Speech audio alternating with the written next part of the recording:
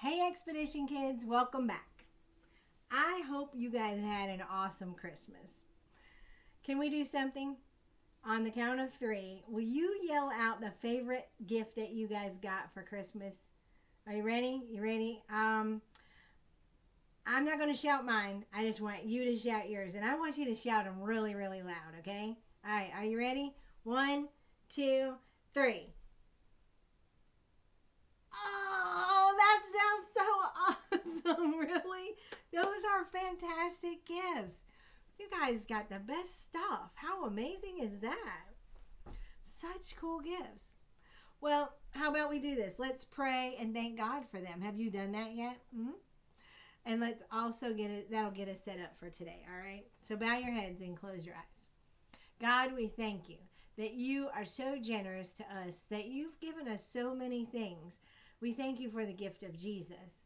We thank you for the gifts that we have received this holiday season, and we thank you for the gifts we've been able to give as well. Help us to be givers all the time and to learn today what you want us to know about you. We love you and we thank you. In Jesus' name we pray. And all God's children said, Amen. Good job. Nice job. Nice work. Nice work. All right, I hope you have your Bible.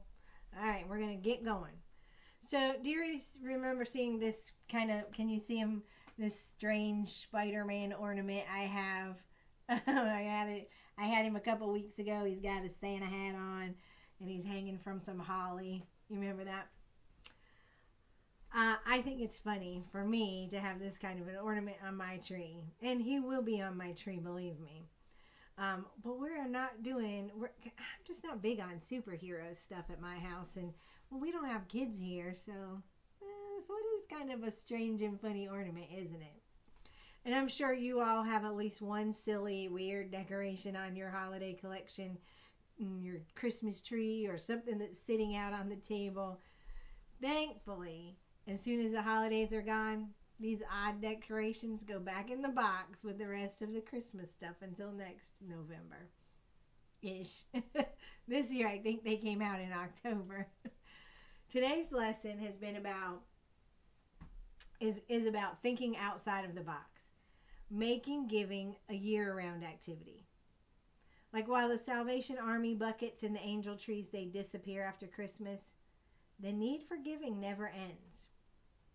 Hunger, sickness, homelessness are problems all year long. People are in need from December to December.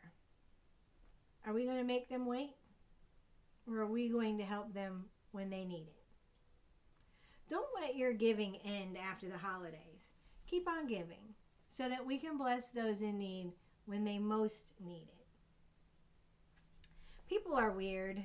People do strange and weird things when you step back and think about it, make no sense. For example, how much sense does it make to plant a plant that you can't eat, that has no nutritional value whatsoever? Not only do you grow this plant in your yard, are you guessing what it is yet? But you have to cut it at least once a week so it doesn't get too tall. And not only that, but we also have to water that plant and fertilize it so it will grow even faster. You know what plant that is? Yep, grass. That's right. Here's another thing that makes no sense Christmas decorations. Every family has a room somewhere in their house full of nothing but boxes jammed with ornaments and trees and garland and lights and tinsel and other red and green decorations. And once a year, once a year, we pull out all those boxes and completely redecorate our house top to bottom, only to pack them away after just one month. If you think that's weird, here's one more weird thing. Every year during the month of our Christmas that our Christmas decorations are up, everyone becomes a philanthropist. A philanthropist is a person who gives money or gifts to charity or helps needy people in other ways. We not only shell out big bucks on our family and friends, we give endlessly to this charity, that charity. We donate to the Salvation Army buckets, you know, ding ding ding ding ding outside of Walmart. That's the Salvation Army bucket. We fill our manger project mangers and we give stuff away. And then when January comes, all that giving stops. Why do we do that? Why do we give so much for one month only to stop completely a month later? It's not like all the homeless people found homes on December 26th. It's not like hunger and starvation and poverty vanish with our trees and our lights. So, why do we act so generous in December and forget all about the needy in January? In this series, we've talked about some of the reasons for giving. We give out of gratitude for what Jesus has done for us. We recognize there's nothing we can do to earn all Jesus has given us. We give, give so that others can make can know God's love. We also give because when we give to the needy, we're given to Jesus. Whatever you do for the least of these, you do for me. Remember that? So today, I want us to look outside of the shoebox or the manger. I want us to see that a giving heart isn't just another thing we take out of the closet at Christmas time. Giving is something that is needed all year long. And as followers of Christ, we need to continue giving all year long. For three years, when Jesus walked on the earth, he spent almost every day meeting the needs of others. He preached. He argued with the self righteous Pharisees. He healed the sick. Every now and then, though, Jesus needed a break. He'd often take time to head up to a hill and pray by himself or take a nap in a boat in the middle of a storm. One day during his travels, Jesus let his disciples do a little work while he took one of his little breaks.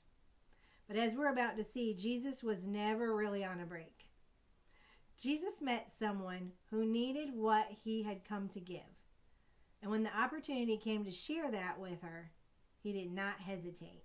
Let's turn in our Bibles to John chapter 4, verses 4 through 26. Matthew, Mark, Luke, John, chapter 4, verses 4 through 26. I want you to follow along as soon as you find it.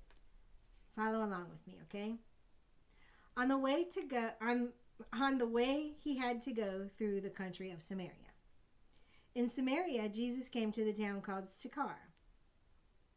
You might be familiar with this story.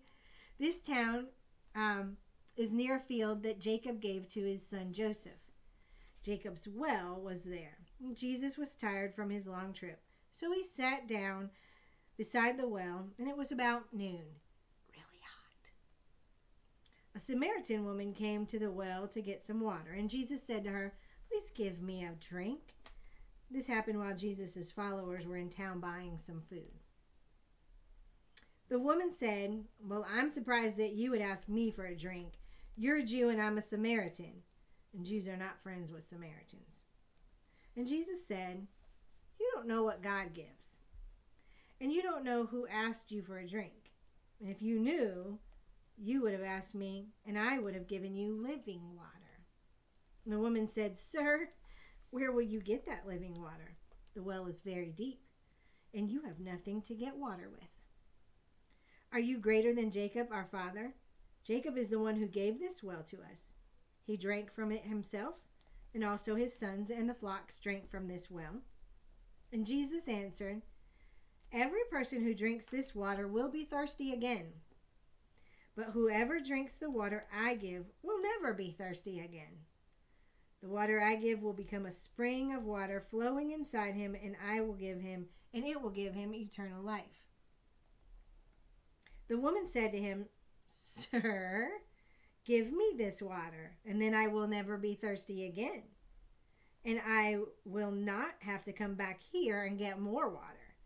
And Jesus told her, Go get your husband and come back here. And the woman answered, mm, But I don't have a husband. And Jesus said, Oh, you're right to say that you have no husband. Really, you have had five husbands, but the man you live with right now, he's not your husband. You told the truth. The woman said, Sir, I can see you're a prophet. Our fathers worshipped on this mountain, but you Jews say that Jerusalem is the place where people must worship. And Jesus said, Believe me, woman, the time is coming when you will not have to be in Jerusalem or on this mountain to worship the Father. You Samaritans worship what you don't understand. We Jews understand that we worship. Salvation comes from the Jews. The time is coming when the true worshippers will worship the Father in spirit and in truth. That time is now, and these are the kinds of worshipers the Father wants. God is spirit. Those who worship God must worship spirit and truth. So at the beginning of the story, the author Luke tells us that Jesus was tired. Hmm. He isn't tired after a long Christmas season. We're all tired of shopping. Busy schedules, dozens of obligations. It's one of the many reasons we stop giving when Christmas decorations go away and the Salvation Army buckets vanish. But then along comes a woman who has been living a life of sin. This woman appears at the well in the middle of the day in the heat of the day. And most women in town, they gather water in the morning when the temperature is cooler. She comes when no one else is around. And this is not a woman in need of food or water or clothing, but she is in need of God's love. And Jesus was tired. He'd been traveling, preaching, teaching, healing nonstop for months. He needed a break, just like anyone. But Jesus knew that people didn't stop needing him when he was off duty. So Jesus gave her a message that would change her life. And it's silly how we stop giving when January rolls around. If anything, there are more people in need after Christmas because of the colder temperatures, the hardships the holidays can bring. Jesus set an example for us during his trip through Samaria. Giving isn't something we do during the holidays, just during the holidays, or just when we're in church. It's every day, all year long, anytime we are needed. Jesus' disciples were surprised to find their master talking to a woman, too. They knew he was tired, and they wouldn't have blamed him one little bit for taking this one off. But listen to what Jesus tells them. I'm going to go to verse 31 to 38. While the woman was away, the followers were begging him, Teacher, eat something. But Jesus answered, I have food to eat, and there is nothing, and there is, I have food that to eat that you know nothing about. So the followers asked themselves, Did somebody already bring him some food? And Jesus said, My food is to do what the one who sent me wants me to do. My food is to finish the work that he gave me to do. You say, Four more months to wait before we gather the grain. But I tell you, open your eyes, look at the fields that are ready for harvesting now. Even now, the one who harvests the crop is being paid. He is gathering crops to, for eternal life.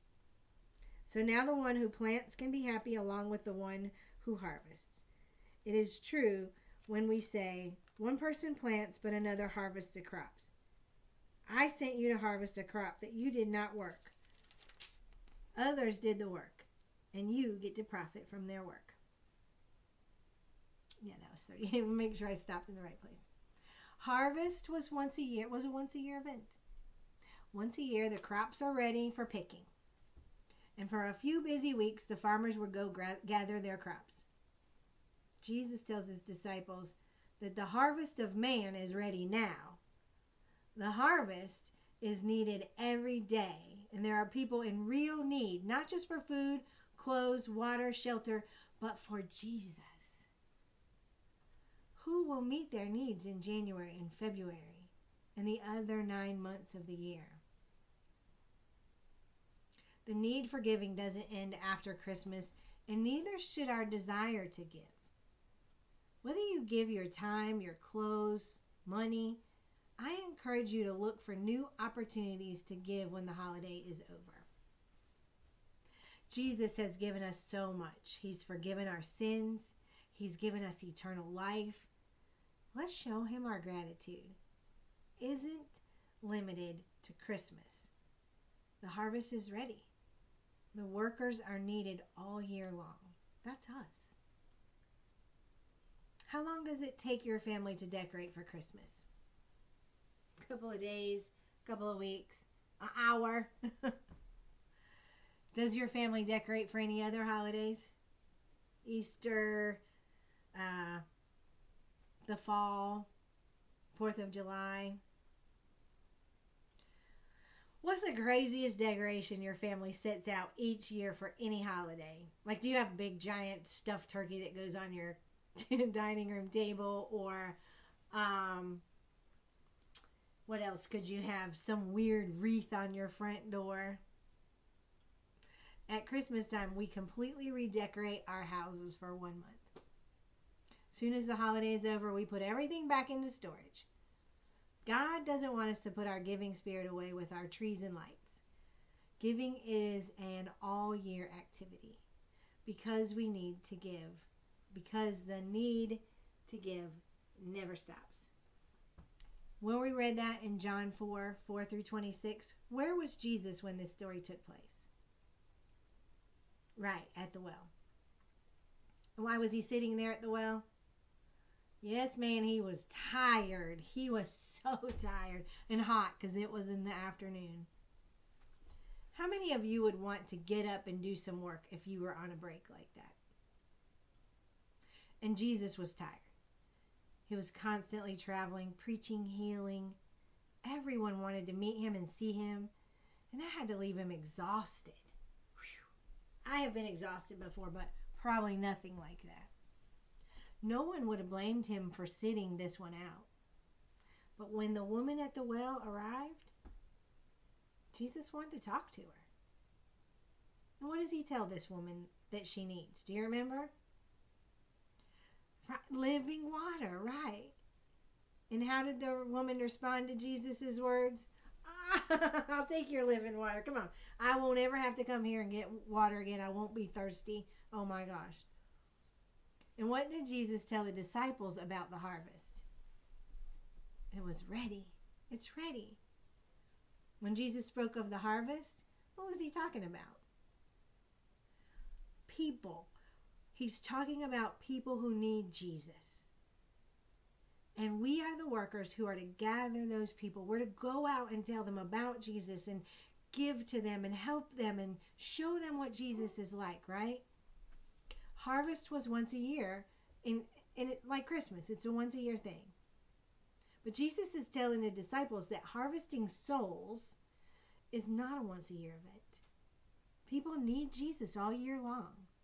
They also need food and water and shelter and clothing all year long. So giving isn't just one month of the year, is it? It's every day. and what are some ways that we can remind ourselves to give beyond Christmas? I have something that I'm going to be giving out. Next Sunday starts our first Sunday back together again. I'm going to give you something while we're there. I'm going to post it on our Facebook page.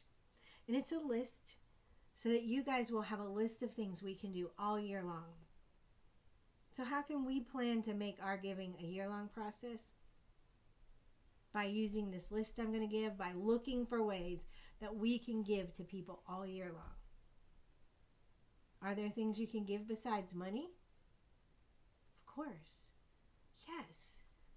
Clothes, food, time, help, encouragement. We did a manger project. We um we we are filling this manger. You know, maybe the manger isn't something that you put away when you put away your Christmas. Maybe the manger is something that you leave out all year round and you put stuff in for the homeless shelter as you collect it. We were collecting potato packs, potato flakes, dried potatoes, in the packs or boxes at our church. We're collecting them. Every time we went to the store, we picked up a handful of bags of potatoes and we're giving them to the pastor's pantry. Keep doing it. Every time we go to the store all year long, Put potatoes in your manger. There are so many opportunities that you can think of all year round to help to give.